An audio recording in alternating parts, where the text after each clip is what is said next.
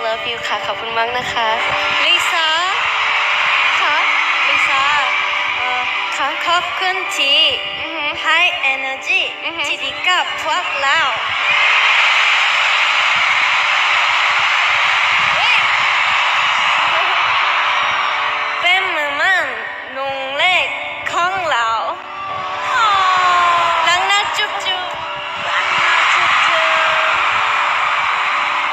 it was for Lisa because, oh, that was having crying.